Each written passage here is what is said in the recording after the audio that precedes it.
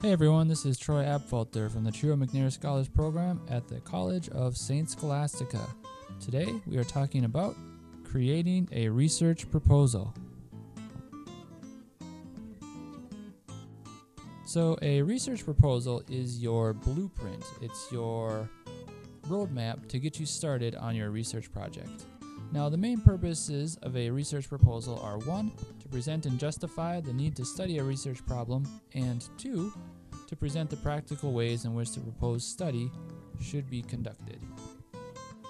The first thing that you're going to address in your research proposal is the background or significance of the proposed research. This is really the so what question. How are you adding to the body of knowledge in your field? What will your research study add to what is already known? How will you address the unknowns in your field? So, a good place to start is looking into some journal articles that are related to your area of study.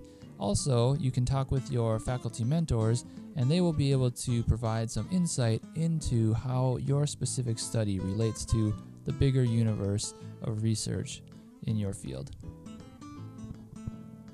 So, the next component of a research proposal is the preliminary hypothesis or research question.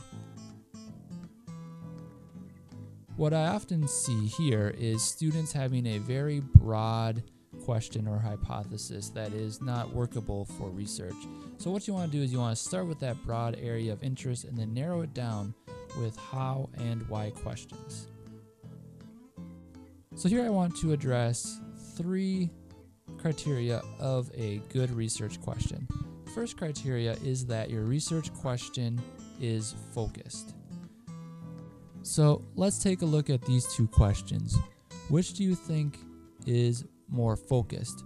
Which do you think has a clear focus for which data can be collected, analyzed, and discussed? My money would be on the second question. The second criteria of a good research question is that it is subjective. It compares variables to tell us something interesting. So let's take a look at these two questions. Which is factual and which is comparative? Which would tell us something more interesting about the world and how it works? Seeing a trend here again, the second question. The third criteria of a good research question is that it is appropriately complex. And here you are really striking a balance between something that is simple and something that is complex. And if we look at these two questions, we can see that the second question provides a lot more detail and specificity that would allow us to do an interesting and relevant research project. So the question to you is Does your proposed research question meet those three criteria of a good research question? Okay, so the next component of a research proposal is proposed research methods. And you can take course after course on specific research methods.